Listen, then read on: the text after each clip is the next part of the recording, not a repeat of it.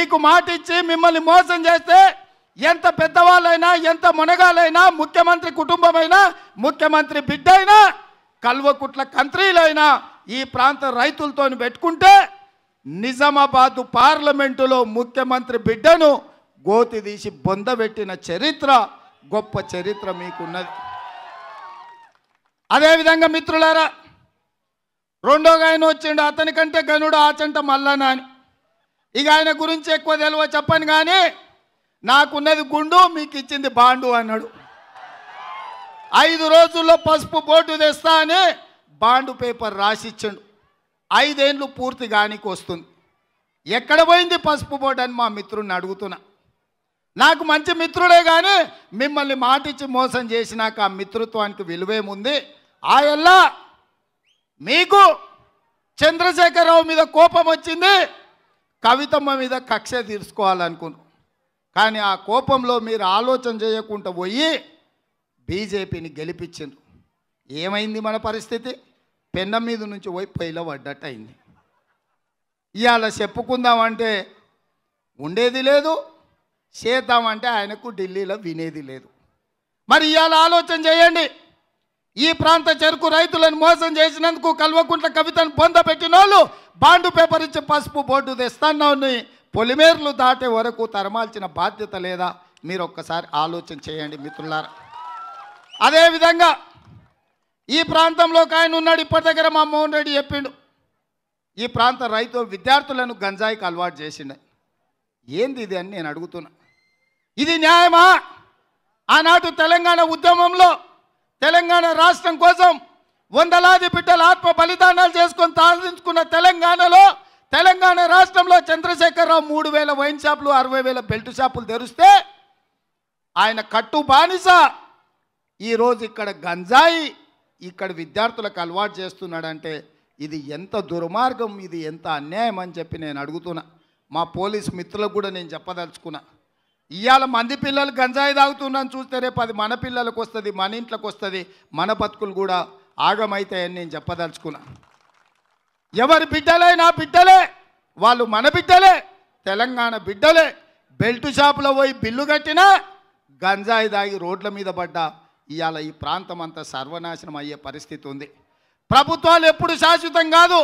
తొంభై నాలుగు నుంచి రెండు వేల నాలుగు వరకు తెలుగుదేశం ఉన్నది. రెండు వేల నాలుగు నుంచి రెండు వేల పద్నాలుగు వరకు కాంగ్రెస్ ఉన్నది. రెండు వేల పద్నాలుగు నుంచి రెండు వేల ఇరవై నాలుగు వరకు చంద్రశేఖరరావు ఉంటాడు. రెండు వేల ఇరవై నాలుగు నుంచి రెండు వేల ముప్పై నాలుగు వరకు మళ్ళీ కాంగ్రెస్ అధికారంలో ఉంటుంది.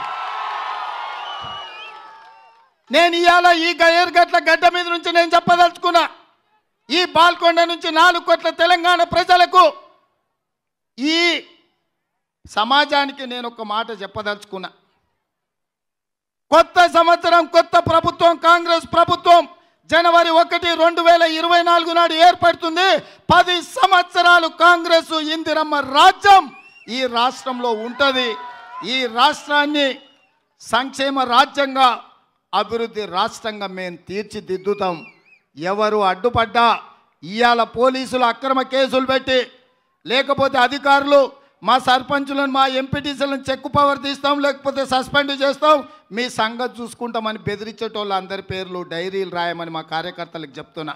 ఏ అధికారులైతే ఏ పోలీసులు అయితే మిమ్మల్ని బెదిరిస్తారో ఏ అధికారులు మీ మీద అక్రమ కేసులు పెడతారో ఏ అధికారులు మీ సర్పంచ్ చెక్ పవర్ తీసిండ్రో లేకపోతే మిమ్మల్ని ఎంపీటీసీలుగా కేసులలో ఇరికిచ్చినరో వాళ్ళందరి మీద డైరీ రాయండి ఇంతకింత మిత్తితో చెల్లించే బాధ్యత కాంగ్రెస్ పార్టీ తీసుకుంటుందని చెప్పి నేను ఈ సందర్భంగా చెప్పదలుచుకున్నా.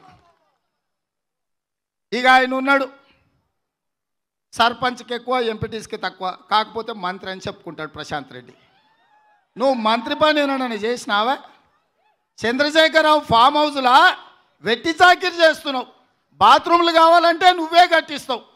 ఆయనకి ఏం కావాలన్నా ఆయన ఇల్లు అయినా బాత్రూమ్ అయినా ఆయన ఇంటి ముందల ఆకిలైనా లాగా తయారైనావు. ఎన్నడన్నా మంత్రిగా ఉన్నవా? నువ్వు మంత్రి పనులు చేసినవా? అని నేను అడుగుతున్నా. నేను ఇవాళ అడగదలుచుకున్న ఈ వేదిక మీద నుంచి ఇక్కడ శాసనసభ్యుడు మంత్రి అయిన ప్రశాంత్ రెడ్డిని గృహ నిర్మాణ శాఖ నీ దగ్గరనే ఉంది కదా? ఇవాళ సిద్దిపేట సిరిసిల్ల గజ్వేల్లో వేలాది డబుల్ బెడ్రూమ్ ఇండ్లు కట్టుకున్నారు కదా? ఈ ప్రాంత ప్రజలు నేను గుండెల్లో పెట్టి చూసుకొని తన చెమటని రక్త తమ రక్తాన్ని చెమటగా మార్చి ఓట్లేసి నేను భుజాల మీద మోసి పల్లకిలో అసెంబ్లీకి పంపిస్తే నువ్వు ఎమ్మెల్యేవై మంత్రి అయినావు కదా?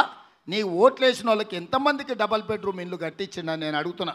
మిత్రులారా మీకు ఎవరికైనా డబల్ బెడ్రూమ్ ఇల్లు వచ్చినాయా ఎవరికైనా డబల్ బెడ్రూమ్ ఇల్లు వచ్చినాయా దళితులకు మూడు ఎకరాల భూమి ఇచ్చిండా? ఇంటికో ఉద్యోగం ఇచ్చిండా? లక్ష రూపాయల రైతు రుణమాఫీ జరిగిందా? ఇవాళ మీరు పండించిన పసుపుకు గిట్టుబాటు ధర ఇచ్చిండా? మరి ఏమీ చేయనప్పుడు నువ్వు మంత్రి ఉండి చంద్రశేఖరరావు దగ్గర ఊడిగం చేసి నువ్వు గృహ నిర్మాణ శాఖ ఉండి నీ నియోజకవర్గంలో నీకు ఓట్లేసిన ప్రజలకే డబల్ బెడ్రూమ్ ఇల్లు ఇవ్వకపోతే నువ్వు దద్దమ్మ అనకపోతే నిన్నేమనాలని నేను అడుగుతున్నా. అదేవిధంగా ఇవాళ ఆయన ఆర్ అండ్ బి రోడ్ల భవనాల శాఖ మంత్రి నేను ఇవాళ వచ్చేటప్పుడు రోడ్లన్నీ చూసుకుంటూ వచ్చిన. ఇప్పటి వరకు నేను ఇరవై మూడు ఇరవై నాలుగు అసెంబ్లీలు తిరిగిన. ఇంత అధ్వానంగా ఇంత గుంతలు గుంతలు ఇట్లాంటి రోడ్లు నేను చూడనే చూడలేదు. ఇవాళ ఎక్కడ చూసినా గుంతలే ఉన్నాయి. గుంతలు చూసినాక నాకు ఆ ఆలోచన వచ్చింది. ఈ ప్రశాంత్ రెడ్డి కాలుకు తాడు కట్టి సైకిల్ మోటార్ కట్టి రోడ్ల మీద ఈడుస్తే ఈపులు చెక్కలు చెక్కలై తోలు ఊడితే అప్పుడు కానీ ఈ రోడ్ల సమస్య ఇవాళ ప్రశాంత్ రెడ్డికి అర్థం కాదని నేను అడుగుతున్నా. నువ్వు గృహ నిర్మాణ శాఖ మంత్రిగా ఉండి ఇక్కడ ఉండే ప్రజలు డబల్ బెడ్రూమ్ ఇల్లు ఇయ్యలే. రోడ్ల భవనాల శాఖ మంత్రిగా ఉండి వస్తుంటే రోడ్లు పది పన్నెండు కిలోమీటర్లు నడుచుకుంటూ వచ్చిన ఇంత అధ్వానమైన పరిస్థితి ఇంత దిక్కుమాలిన పరిస్థితి ఎప్పుడు లేదు. ఉమ్మడి రాష్ట్రంలో సమైక్య పాలనలో కూడా ఇంత అధ్వానం ఇంత నిర్లక్ష్యం ఎప్పుడు కనిపించలే ఈ రోడ్ల మీద. ఇవాళ నువ్వు ఏ మంత్రిగా ఉన్నా ఏం చేసినా ఎందుకు ఉపయోగం అని నేను అడుగుతున్నా. అదేవిధంగా ఇవాళ ఈయన ఇక్కడ ఎచ్చలు పడతాడు. నేను నీతి మంతుని జాతి మంతుని నా అంత మునగాలేడని నేను ఇవాళ వేదిక మీద నుంచి ప్రశాంత్ రెడ్డికి సూటిగా సవాలు విసరదలుచుకున్నా తెలంగాణ రాష్ట్రం. ఆనాడు మీరు వైఫల్యం చెందితే మీరు తెలంగాణ రాష్ట్రం దేవట్లో నీ పార్టీ విఫలమైతే ఆనాడు చేసి పెడితే జెండాలు కట్టినాం. దొరగారు వస్తే దండాలు పెట్టినాం. రాష్ట్రం ఆలస్యమైతే ప్రాణాలు ఇచ్చినాం. మేము మర పిరంగులమై పేలుతే తెలంగాణ రాష్ట్రం వచ్చింది. ఆ తెలంగాణ రాష్ట్రంలో తొమ్మిది నెలల ప్రగతి భవన్ కట్టుకున్నారు. ఇవాళ వాస్తు లేదని తాంత్రికుడు చెప్తే తొమ్మిదేండ్ల తొమ్మిది నెలల సచివాలయం కట్టుకున్నారు.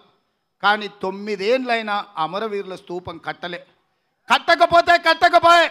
నేను సూటిగా ప్రశాంత్ రెడ్డి మీద ఆరోపణ చేస్తున్న మీడియా మిత్రులారా మీరు రాయండి.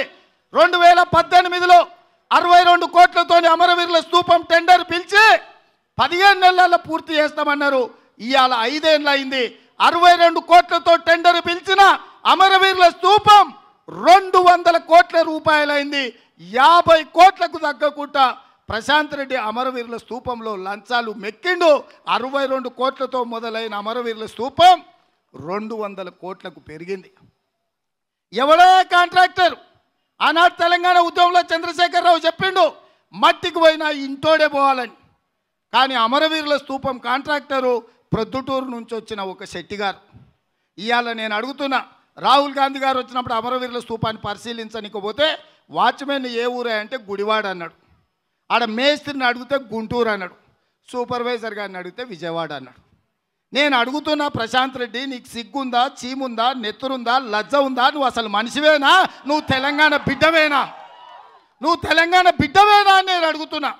మా బిడ్డలు అరవై ఏళ్ళు పన్నెండు వందల మంది ఆత్మ బలిదానాలు చేసుకొని తెచ్చుకున్న తెలంగాణ రాష్ట్రంలో మా ఆత్మ గౌరవం కోసం అమరవీరుల స్థూపం నిర్మిస్తే కాంట్రాక్టర్ ఆంధ్రోడు వాచ్మెన్ ఆంధ్రోడు మేస్త్రి ఆంధ్రోడు సూపర్వైజర్ ఆంధ్రోడు కమిషన్లు ఆంధ్రోలు ఇచ్చే మోచేతి నీళ్ళు తాగే సన్నాసి నీకేమైనా సిగ్గు ఉందా? ఎందుకు బతికినావు?